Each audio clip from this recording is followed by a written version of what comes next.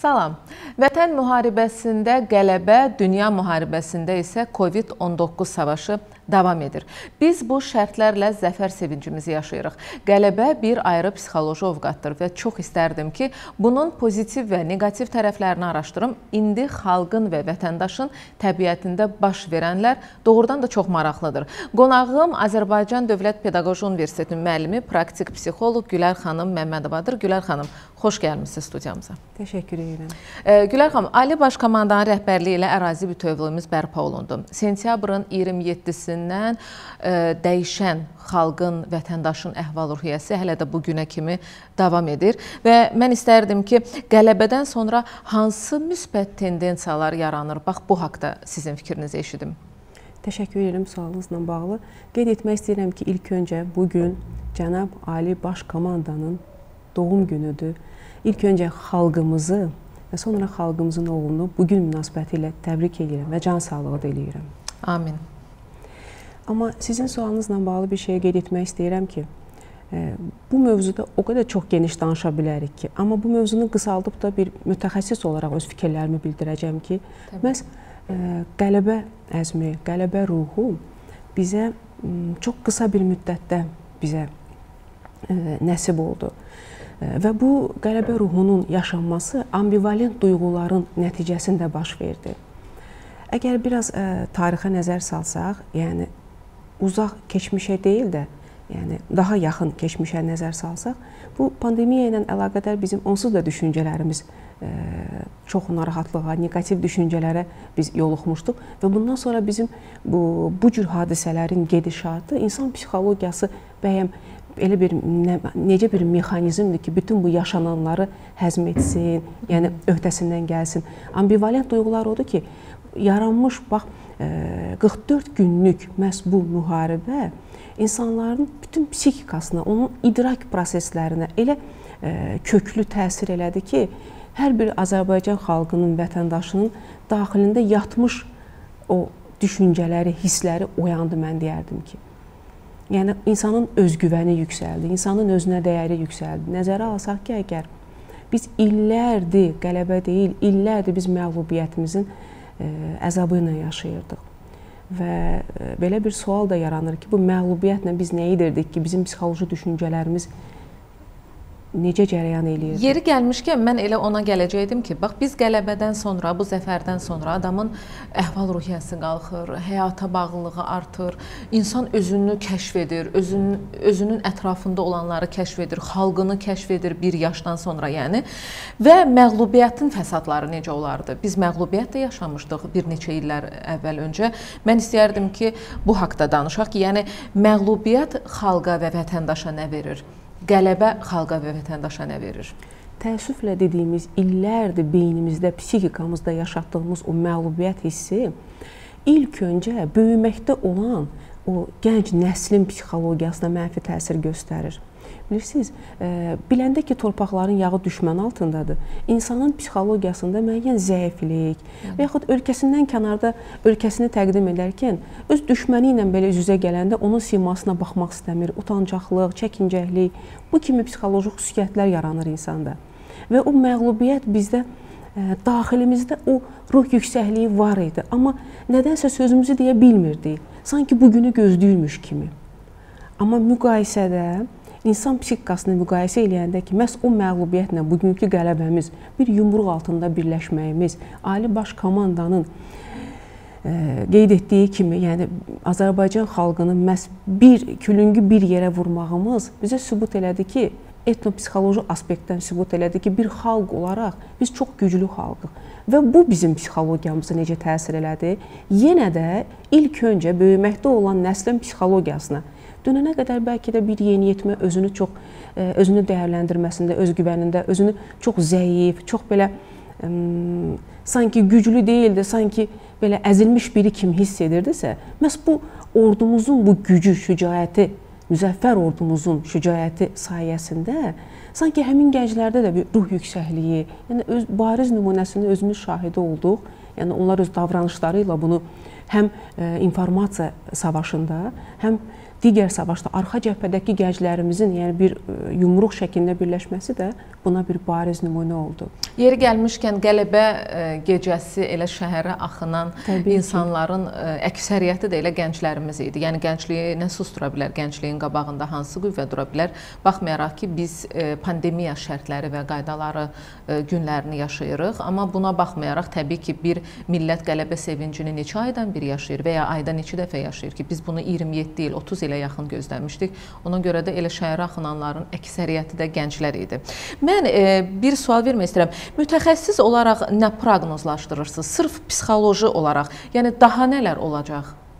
E, Əgər bundan bir, sonra yəni. Əgər bir mütəxəssis olaraq fikrimi e, soruşursunuzsa, hal-hazırda cərəyan eləyən bu qlobal dəyişikliklər ki, biz görürük insan psixologiyasında, Aha. elə bir həm də pozitiv və neqativ tərəflərini danışaq. Olsun. Bax, ə, e, icazənizlə mən pandemiya mövzusuna toxunum. Əlbəttə. İlk öncə. Deməli, ə, e, lap əvvəldən öz düşüncə virusunu bizə yoluxdurdu. O düşüncə virusu bizə ilkindən yoluxdu. Hər kəsdə müəyyən bir qeyri-müəyyənlik formalaşdı. Yəni gələcəyə ə, e, baxaraq bir müəyyən bir fikirlər söyləyə bilmədilər də çaşqınlıq oldu. İnam, inamsızlıq, etibarsızlıq, ə, informasiya ümumiyyətlə inam etmişdi də. Lakin bu virus get-gedə o qədər geniş vüsət aldı. Artıq xəstəlik real simasını bizə göstərdikdən sonra insanlarda artıq həqiqətən də real təlaş formalaşdı. Lap psixoloji problemi olan da, olmayan da daxilində artıq həyəcanlanmağa, təşvişə düşməyə başladı. Çünki hər bir insanın o təməl duyğusu var da, o qorxu, ölüm qorxusu o insanda elə bir hiss yaratdı ki, insanın e, insanlarla qarşılıqlı münasibətində problem yarandı. İnsanlarda kiçik-kiçik stress formalaşdı. İnsan Hı. sanki öz əhvalının əsrinə müəyyən qədər çevrildi. Yəni gün ərzində insanlar daha çox bu düşüncə virusuna yoluxaraq bu xəstəliyə yoluxaram. E, ilk öncə yoluxsam necə olacaq? Hələ yoluxandan sonra o simptomatik hallar insanın psixologiyasına o qədər mənfi təsir göstərirdi ki, sanki mənə nəsə olacaq mən ölsəm yaxınlarım necə və yaxud doğmalarımı itirsəm nə baş verəcək? Bu kimi düşüncələr insan psixikasında çox, çox, çox xüsusiyyətləri ortaya çıxartdı. Mən sizə deyərdim ki, COVID-19 bir şər olaraq bizim həyatımıza hücum etsə də, yəni dünyamızın dünyamızın o fövqəladə bir e, mühit yaratdı dünyamızda. Elə bir fövqəladə hal yaradıb ki, bu gün biz düşmüşük situasiyaya. Hər kəs bu situasiyada özünü tərənnüm eləyir, hər kəs. Və Bu durumda sanki COVID-19 deyir şərdi məsələn xeyir gəlməz. Mən sizə qeyd edeyim ki, onun müsbət tərəfləri çox oldu. Yəni hər bir insan artıq Bu fikirlə tez-tez rastlaşıram. Aha, bu mənim özümün şəxsən müşahidələrim oldu. Necə ki, insanların psixologiyası, insanların eqoizmi, insanların bir-birinə olan münasibəti, insanların bir-birinə olan qayğısı, Sonra arzularının frustrasiya halı var. Məsələn, psixologiyada belə bir hal var, frustrasiya gözlənilən o gələcək ki var ya, o gözlədiyin, o arzuladığın bir gələcəyin həsrətlə bəli, tamamilə yəni dağılması da, yəni bu frustrasiya halından insanların necə çıxması, bu gün baş vermiş bizim standart həyatımızdakı dəyişikliklər, rutinlərimizin pozulması. Baxın, iş evdədir. Bilin nələrəsə belə həsrət qalmışıq da çox şeyə. Əslində Təbii bundan ki, sonrakı məncə daha maraqlı olar. Təbii ki, mən sizinlə çox razıyam, amma biz bu dəyişikliyə məcburuq adaptasiya olmağa. Nə vaxt bitəcək bu həsrət? Bəli, bu qeyri-müəyyənliyə hələ proqnoz tam verilmir, amma mən bir şey e, müşahidə elədim. Baxın, iş evdədir. Bağça evdədir, orta məktəb evdə, ali məktəb evdə. Hansı ki, həmişə işləyən adamlar evdən sıxılırdı, evdən tez-tez çıxmaq istəyirdi. İndi hər şey bizim evimizdədir. Tam razıyam və belə olduğu halda da ailədə yaranan valideyn-övlad münasibətləri, ər-arvad münasibətləri kimisi bir-birinə daha yaxından tanıdı, kimisi bir-birini ümumiyyətlə daha yaxından tanıyıb məyus oldu. Kimsə kiməsə aşiq oldu. Təbii ki, kimsə yəni başa düşdü ki, əslində çox səhv edilmiş bu adamla neçə illərdir bu bir evdə yaşayırmış. Doğrudan deyirəm, yəni bu hallar var.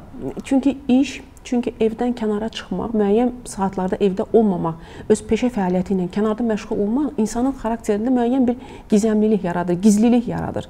Yəni insan öz daxili duyğularını tam tamı ilə ortaya çıxara bilmir. Amma bu gün insanların bir evdə olması və bir evdə fəaliyyət göstərməsi, yenə deyirəm, onlayn dərs, sakit olun, mən dərsdəyəm, uşaq deyir, mən dərsdəyəm, dükana getmək lazımdır. Evdəki boş mühit, o boşluq, boşluğu doldurmaq üçün insanın təfəkkür potensialı zəngin olmalıdır. Onun elə bir zehni fəaliyyəti olmalıdır ki, o gündəlik həyatını, boşluqlarını ona səmərəli olan, ona lazımı olan bir işlərlə, yəni doldura bilsin. Əslində insanların çoxsunun xüsusi bir istedadı ortaya çıxdı mən düşünürəm. Hə? Təbii ki, təbii ki və insanlar bir şeyi də müəyyən elədilər ki, e, heç də kütləvi yığılaraq, e, kütləvi yığılaraq insanı dəfn etməyə heç də böyük bir tələbat lüzum yox imiş. Lüzum yox imiş.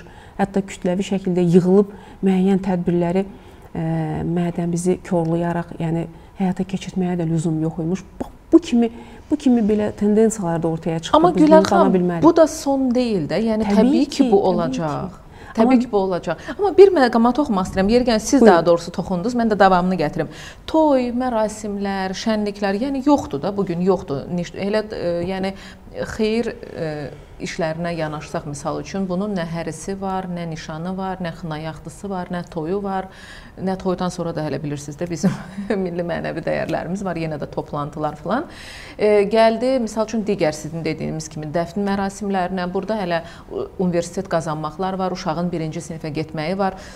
Yəni şənlikdir deyib keçməyək də, burada bizim mənəvi dəyərlərimiz, adət-ənənələrimiz necə edək ki, həm qaydalara uyaq, həm də bunlardan yadlaşmayaq. Yəni qayda dediyim indi e, karantin qaydalarını nəzərdə tuturam da, yəni COVID ilə bağlı. Həm də yadlaşmayaq da, unutmayaq yəni bunları. Bilirsiniz, qeyd etdiyim kimi hər xalqın özünün etnopsixoloji mədəniyyəti var da. Bizim özümüzün ənənələrimiz var.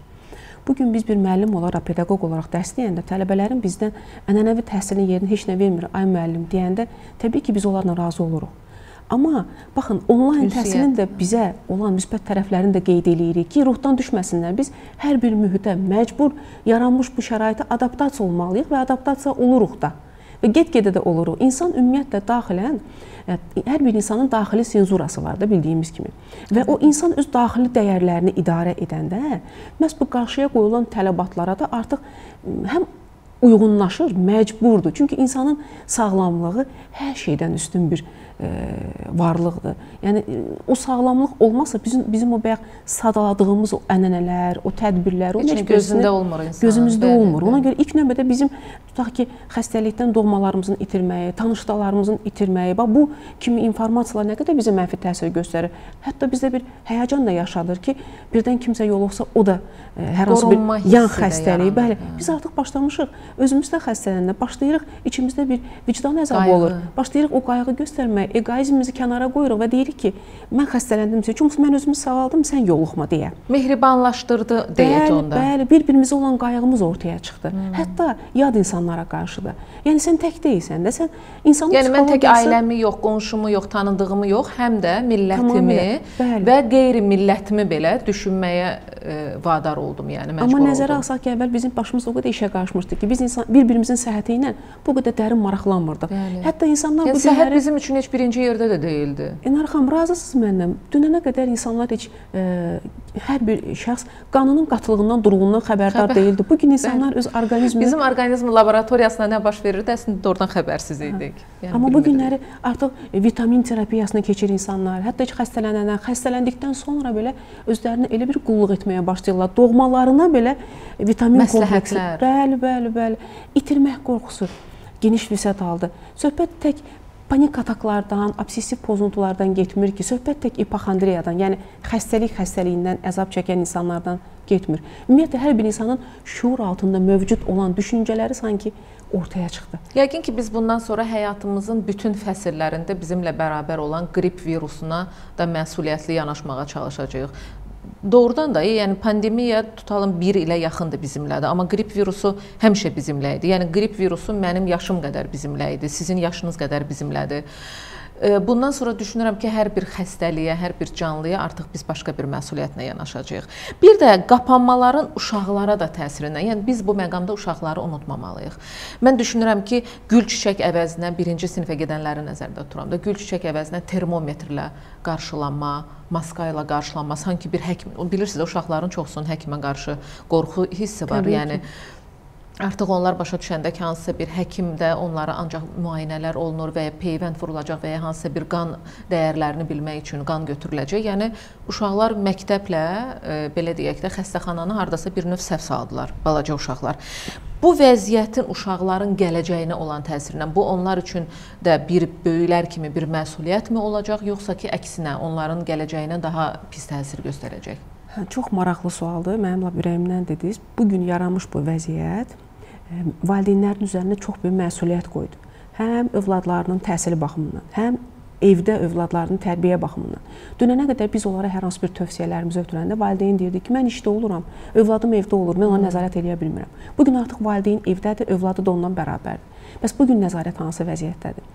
Ona görə hər kəsənin özünün tərbiyə metodu var. Biz insanların bütünlüklə psixikasını ümumiləşdirib bir vahid tərbiyə sistemi yarada bilmərik.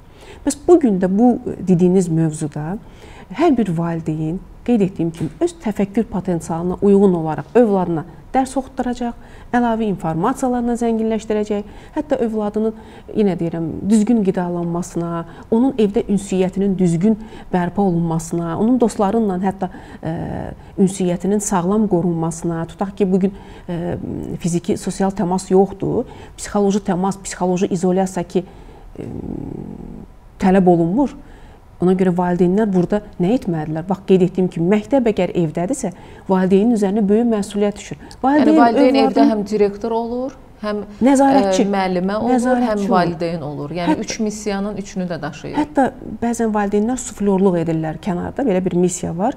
Övladının hansısa suallara cavab verə bilmədiyini görəndə sanki övladına köməklik eləmək istəyirlər.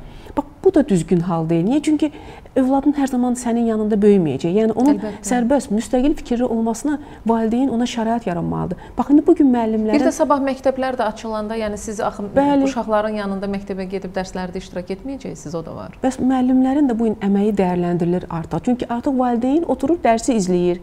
Özü görür. də məlumatlanır, özü də maariflənir yetərincə. Ona görə valideynlər yaxşı olardı ki, uşaqların tərbiyəsində, təlim tərbiyəsində həm psixoloji aspektdən davranışlarında o boşluqlar sizin qeyd etdiyiniz o boşluqlar yaranmasın deyə gələcəyə sağlam nəsil yetişsin. Psixoloji aspektdən geriləyən, yəni zehni, o zəkası geriləyən uşaqlar deyil də daha inkişaf edən bir uşaqlar yetişsin. Bu da kimdən asılıdır? Valideynlər də asılıdır, valideynlər asılıdır.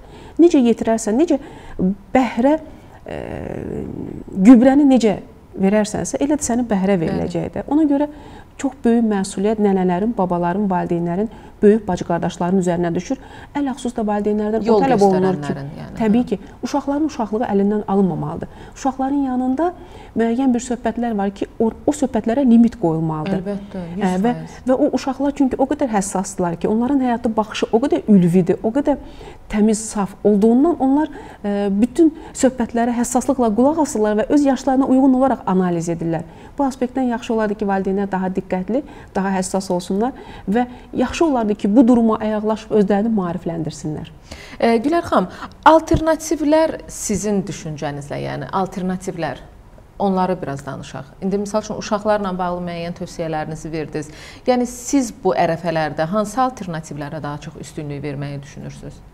Əlavə olaraq, Bəli. yəni bilirsiniz, bu COVID-19 hər bir insanın qeyd etdiyim kimi potensialını ortaya çıxartdı. Ona göstərdi ki, sən belə bir çətinliyə düşərkən nələrə əl ata bilərsən? Sənin maraq və meyllərin nəyə yönələ bilər? Sən bacarıqların nəyədir? Sən ümumiyyətlə psixikan bu ana qədər necə inkişaf eləmişdi ki, sənin bu həyata davamlılığın, dözümlülüyün hansı səviyyədədir? Və hər kəs öz ağlının keyfiyyətlərini bilir, düzdürmü? Mənim fikrimcə, insanlar öz ağlının çevikliyindən, müstəqilliyindən, dözümlülüyündən istifadə etməlidir. Təbii ki, əgər bu ağıl olarda sağlam inkişaf etmişsə. Və insan öz dərrakəsinə istinad eləyərək elə bir variantlara əl atmalıdır ki, dözməliyik də çətindir, çox çətindir. Bizim əhvalımıza birbaşa yansıyıb, psixikamıza, əhvalımıza yansıyıb. Təfəkkürümüz sırf bu düşüncələrlə artıq işləyir. Amma mənim fikrimi soruşsaz, insan daim irəli getməlidir. Nə istədiyini bilməlidir. Öz motivlərini, məqsədlərini müəyyən etməlidir ki, yəni boş oturmamalıdır. Yəni o passivləşib də neqativ düşüncələrə özünü məhkum edib də təcrid etməməlidir, mümkünsüzdür. İnsanın psixologiyası fəaliyyətdə, ünsiyyətdə formalaşır. Hər kəs özünün təfəkkür potensialına uyğun olaraq gündəlik həyat rejimini qurmalıdır. Yəni biz keçmişə baxıb da ay mənə nəsə olar deyə, ay mən ölərəm, ay kimisə itərərəm bu fikirlərlə yaşasaq və belə də olsa əgər, onda planetdə insan qalmaz. Əlbəttə. Və biz öz əhvalımızın quluna əsrinə çevrilərik, inkişaf eləyə bilmərik də. Həyat davam eləyir, biz fəaliyyətdə olmalıyıq. Aydındır. Təşəkkür edirəm Gülər xanım. Çox şad oldum. Çox gözəl enerjiniz var və e, düşünürəm ki, e, bir neçə dəqiqəlik də olsa insanlara biz gözəl enerji ötürə bildik və gözəl məsləhətlər verə bildik. Mən də düşünürəm ki, insan hər hansı bir vəziyyətdən asılı olmayaraq o vəziyyətdən çıxış yolu axtarmalıdır. Məsəl üçün düşünün, əgər bir balıq akvariumdadır, amma o özünü e, vəziyyətdən çıxara bilirsə, ona o okean kimi gəlir. Amma bir balıq okeanda üzə bilər. O əgər özünü vəziyyətdən çıxara bilmirsə, düşünürəm ki, o elə özünü akvariumda hiss edəcək. Yəni okeanda olduğunun fərqinə varmayacaq. Ona görə də biz daim məqsədlərimizi, sağlam məqsədləri qarşımıza qoyub onlara doğru addım atmalıyıq. Və təbii ki, bu yolda biz büdrəyə bilərik, bu yolda biz çətinliyə düşə bilərik, bu yolda kimsə bizə daş ata bilər. Mən düşünürəm ki, biz buradan da çıxmalıyıq. Yəni buradan da çıxış yolunu axtarmalıyıq. Ancaq və ancaq onda bizim ilimiz, günlərimiz, e, hər bir yəni anımız gözəl keçə bilər və studiyada qonağımız Azərbaycan Dövlət Pedaqoji Universitetinin müəllimi, praktik psixoloq Gülər xanım Məmmədova idi.